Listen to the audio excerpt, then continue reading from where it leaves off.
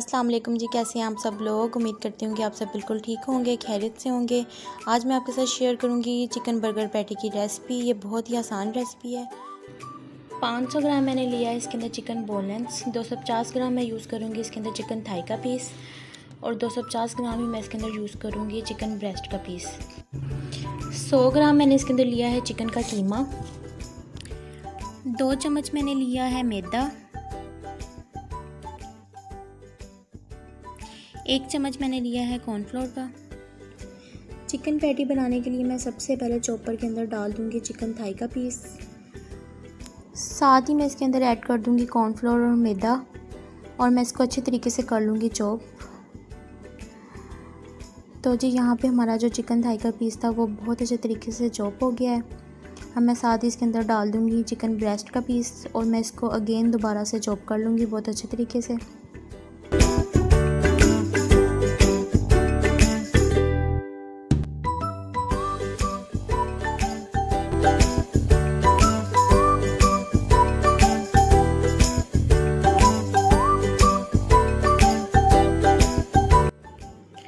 अब मैंने बाउल के अंदर डाल लिया है, चॉप किया हुआ चिकन और साथ ही मैं इसके अंदर ऐड कर दूँगी कीमा।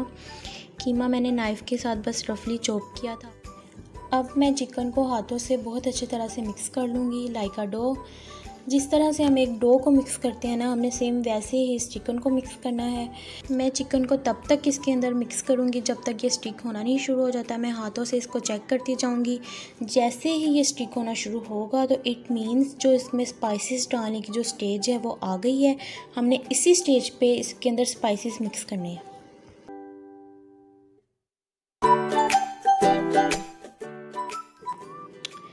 स्पाइसेस में सबसे पहले मैं इसके अंदर ऐड करूँगी वन टीस्पून सफ़ेद मिर्च।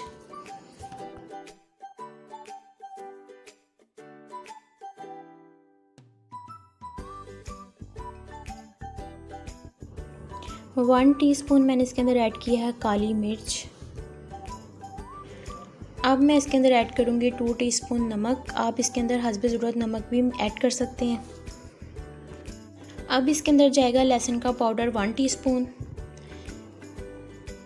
साथ ही मैं इसके अंदर शामिल करूँगी पेपरिका पाउडर वन टीस्पून तमाम स्पाइसेस मैंने इसके अंदर मिक्स कर लिए हैं। अब मैं तमाम स्पाइसेस ऐड करने के बाद इसको दोबारा से मिक्स करूँगी।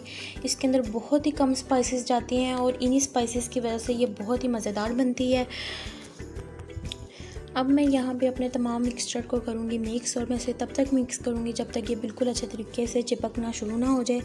तो जी बर्गर पैटी की जो टिप एंड ट्रिक है, वो यही है कि जो हम, हमारा जो मिक्सचर है, वो अच्छे से स्टिक होना चाहिए, अच्छे से चिपकना चाहिए।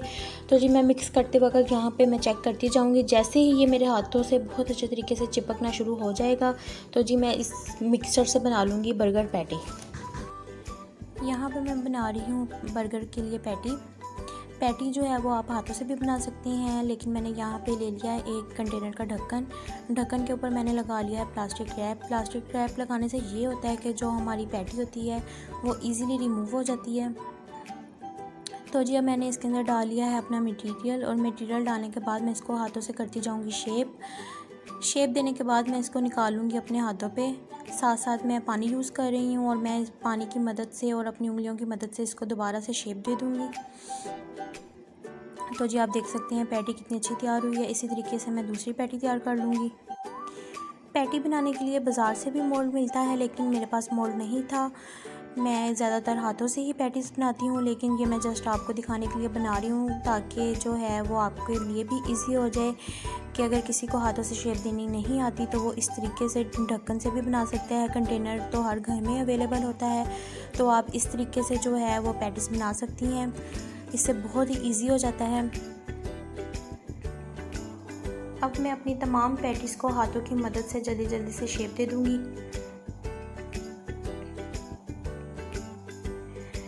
शेप देने के बाद जो है मैं अपनी तमाम पैटीज़ को तीन से चार घंटों के लिए रख दूँगी फ्रीज़र में। आप इसे ओवरनाइट भी फ्रीज़ कर सकते हैं ताकि जो इसके अंदर एक जान है वो आ जाए और ताकि जो ये हमारी नेक्स्ट कोटिंग के लिए रेडी हो जाए।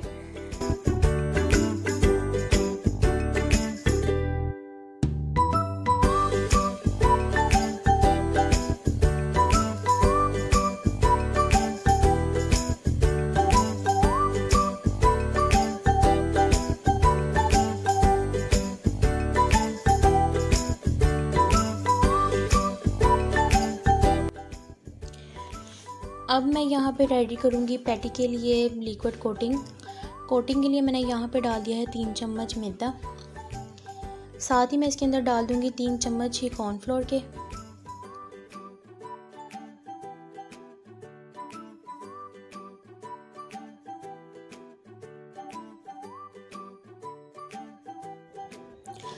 अब इसके अंदर मैं ऐड करूँगी डेढ़ चम्मच चावल का आटा. अब मैं इसको अच्छे से कर लूँगी मिक्स मिक्स करने के बाद मैं इसके अंदर शामिल करूँगी एक अंडा। अंडे को भी मैं इसके साथ कर लूँगी मिक्स अब मैं इसके अंदर थोड़ा थोड़ा शामिल करती जाऊँगी पानी। जितना मुझे लिक्विड चाहिए, मैं उसी हिसाब से पानी डालती जाऊँगी। लिक्विड मुझे ना ज़्यादा पतला चाहिए और ना ही ज़्यादा मुझे थिक चाहिए।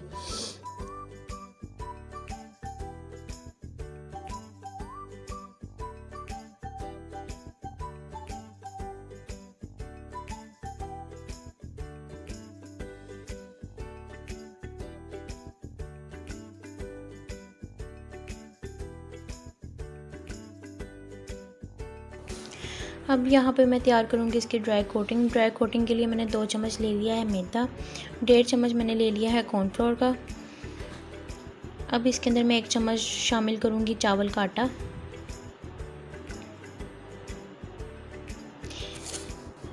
अब मैं दो चम्मच इसके अंदर डालूँगी ब्रेड क्रम्स तो ये हमारी ड्राई कोटिंग हो गई है रेडी इसको कर लूँगी मैं अच्छे से मिक्स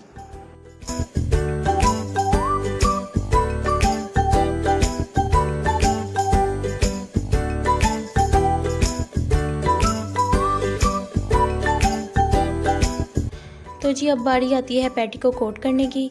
सबसे पहले मैं इसको ड्राई लिक्विड में इवनली करूँगी कोट।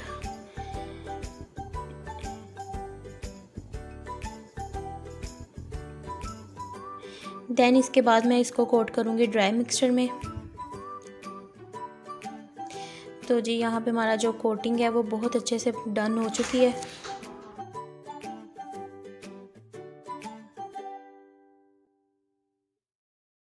अब मैं इसी तरीके से अपनी तमाम पैटी को कर लूँगी कोट।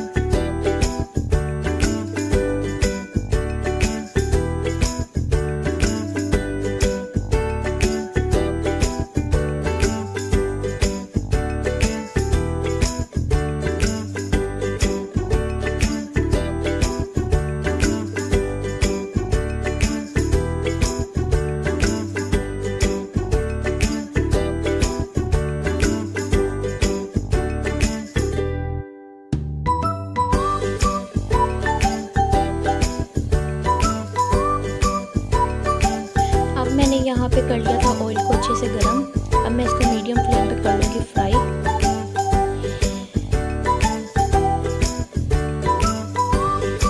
इसको आपने मीडियम टू लो फ्लेम पे ही फ्राई करना है। अगर आप इसको ज़्यादा हाई फ्लेम पे करेंगी तो जो इसका कलर है, वो ऊपर से बहुत ज़्यादा डार्क हो जाएगा और अंदर से बिल्कुल कच्ची होगी। आपने इसको मीडियम फ्लेम पे ही फ्राई करना है। इससे इसका जो कलर है, वो बहुत अच्छा सा कलर आएगा और अंदर से भी बिल्कुल पकी हुई होंगी। तो जी अब मैं इसको जल्दी से करती हूँ फ्राई तो जी आप देख सकते हैं इसका कलर कितना अच्छा आ रहा है, लेकिन मुझे इससे भी थोड़ा डार्क कलर चाहिए।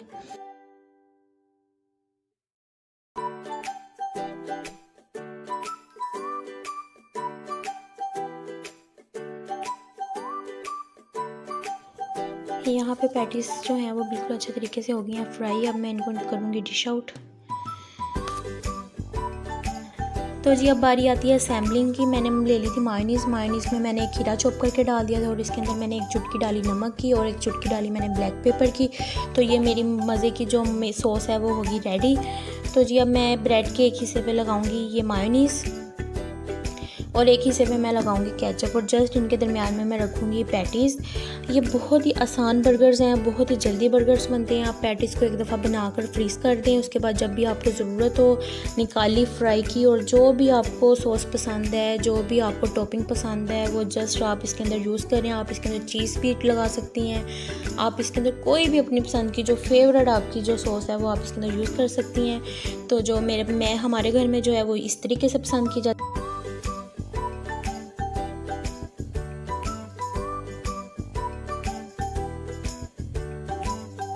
अगर आपको मेरी वीडियो पसंद आई है तो प्लीज़ मेरी वीडियो को लाइक शेयर एंड कमेंट ज़रूर करें।